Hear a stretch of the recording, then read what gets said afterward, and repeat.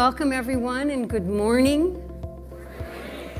You know, when I woke this morning in Orlando, I found myself just filled with energy and curiosity about what we could do here together today. So I just want to get right to it. I am Saj Nicole. I am a business strategist, a confidential advisor to CEOs, a speaker, and an author. I work with top leaders and their boards, helping them to think about their hardest challenges, how we can create results today, and pave a path for sustainable and productive futures. So I'd like to start this afternoon by bringing something really, really big into the room. Now, I love this pumpkin. Her name is Freak 2. She weighs 2,009 pounds. She was grown by this gentleman, Ron Wallace, in the year 2012. So all of growing history to the year 2000 got us to 1,000 pounds, and 12 years later, got us to 2,000 pounds. And in the early 1900s, the big pumpkins were like 400 pounds.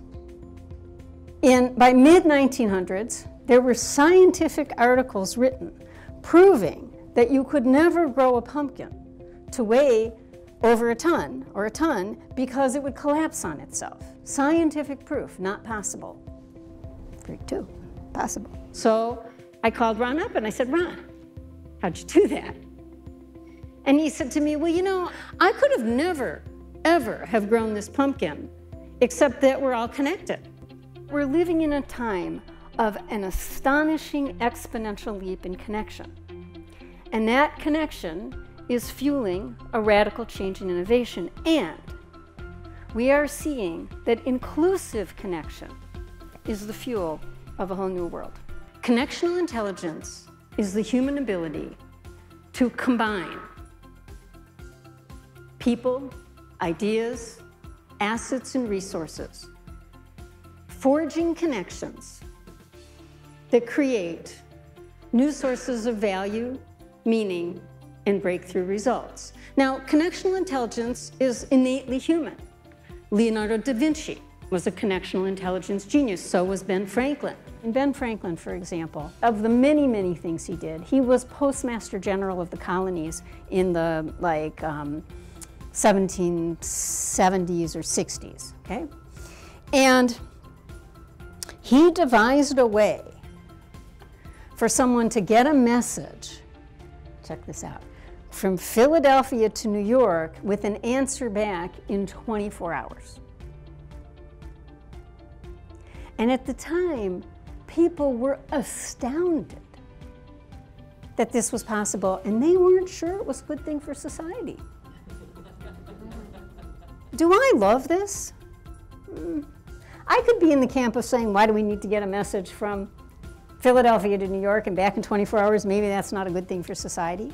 I could be, I could be of the camp, I'm of the age, where I could say, I'm not sure that all this tweeting and bleeping and constant on and all that, I'm not so sure that that's so good for us and what's going to happen to humans. But here's the thing. It didn't ask me. With more connection, we're touching more and more things that are different, more different points of view, more diversity, more tension, more conflict. The reality is that the fuel of innovation has two strands, connectional intelligence and productive conflict. These are braided and inextricably woven together. So if you really want to create and win and win big, you actually have to harness both. So here are some of the questions that CEOs and boards that I'm talking to are asking. How do I find the outliers in my organization? And how would I make it safe for them to break the rules? What happens when everyone has access to all the world's knowledge all the time, 7 by 24 knowledge, plays, videos, music. What happens? How do I capture the cognitive surplus of my entire ecosystem to work on things that really matter? Driven not because I told them that it was their job to do it or I incented them with a bonus or whatever, but driven by their human desire to stand up and make a difference in these times that we all know we're living in? These are the kinds of questions that we need to turn and ask if we intend to lead.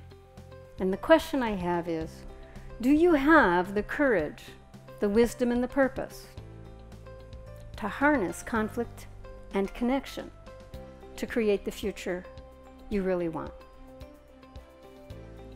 Because, my friends, the world, I, and really the world, we need you to go out and do just precisely that. Thank you very much.